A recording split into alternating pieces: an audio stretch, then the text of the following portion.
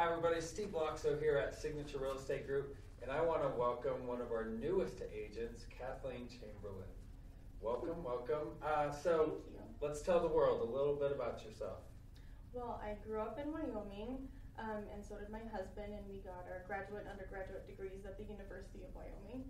Um, so we have strong roots and love Wyoming. Yeah. And we moved to Alaska, and we just recently moved back in the past six months. Okay. So, and we have a little girl, and she's three, and she's our whole world. Yes, for So, sure. And yeah, we just love Wyoming, and we're we're really excited to be back, and we love that horse. So it's a great. Wyoming's great for that. Good place to be. And you grew up in Guernsey. Guernsey, yes. Yeah, Okay. Guernsey. Excellent. So then you got your real estate license and wanted to get into real estate. Why is that? What what drew you to real estate? Well, a huge thing for me is I've been staying at home with my daughter, and I've been missing that connection with people. And when I bought my house, it was a magical experience for me because I love our home. I love being a homeowner, and it truly is like a dream to own my home.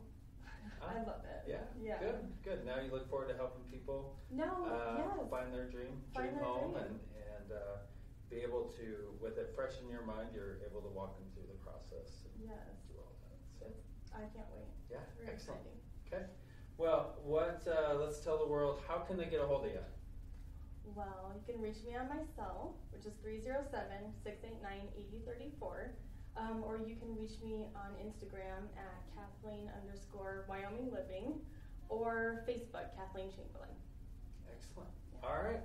So she is excited to help people buy, sell. Uh, it, she's a ball of fire in the office, and we love to have her and uh, look forward to watching her grow in this career. So give her a call, look her up. Uh, she's ready to help you. So thanks for watching, and have a blessed day.